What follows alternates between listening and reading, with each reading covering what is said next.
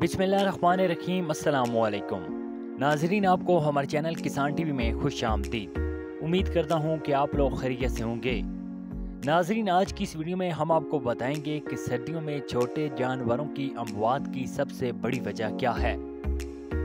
सर्दियों के तमाम चारों में प्रोटीन गर्मियों के चारों से ज़्यादा होती है।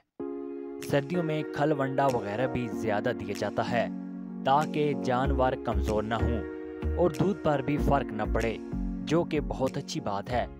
लेकिन जानवरों के जिसम में भी प्रोटीन के हजम होने से अमोनिया बनती रहती है। अमोनिया जहरीली होती है, इसलिए उसका जिसम से जल्द अज जल्द खारिज होना ज़रूरी होता है। दूध देने वाले तमाम जानवरों का जिगर अमोनिया को यूरिया में तब्दील कर देता है, जो कि गुर्दे, पेशाब के ज़रिए जिसम से खारिज कर देते हैं। पेशाब में मौजूद इस यूरिया का कुछ हिस्सा फिर से अमोनिया गैस में बदल जाता है। जानवरों के गोबर में भी मैथीन गैस, वही गैस जो चूल्हों में जलाई जाती है, ये भी खतरनाक होती है।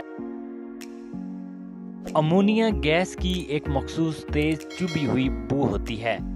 ये आँखों, नाक और सांस की नाली में सख्त चुभन करती है और दम घुटने का एहसास पैदा करती है।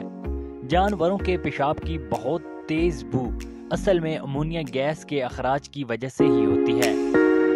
अमोनिया गैस आँखों और सांस की नाली में ना नज़र आने वाले छोटे छोटे जख्म पैदा करती है। इस वजह से सांस की नाली में खारिश और खांसी होती है। इन नज़र न आने वाले जख्मों से दूसरे बीमारी वाले जरासीम जो आमतौर पर जानवर में मौजूद रहते हैं, ऐसा मौका मिलते ही जिसम पर हमला कर देते हैं।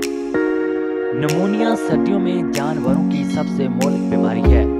और अमोनिया गैसें जानवरों में नमूनिया की बीमारी की सबसे बड़ी वजह है।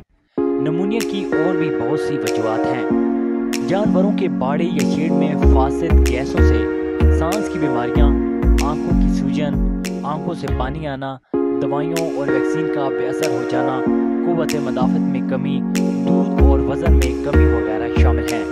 नाजरीन इस वीडियो के हवाले से कमेंट में आप भी अपने फीडबैक से ज़रूर आगा करें। वीडियो को लाइक और शेयर करें। और हमारी हौसला अफजाई के लिए हमारे चैनल किसान टीवी को ज़रूर सब्सक्राइब और लाइक करें। अल्लाह ताला हम सब का